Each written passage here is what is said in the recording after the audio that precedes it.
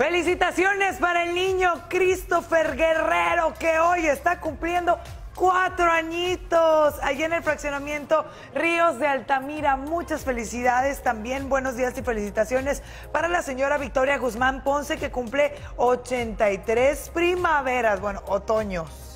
De parte de, de su comadre Elvia Ramírez Martínez. Gracias por escribirnos. Pregunta de cajón. ¿Cuánto va a durar este frío? Oye, primero querían frío y ahora que lo tienen aquí, que ya se vaya.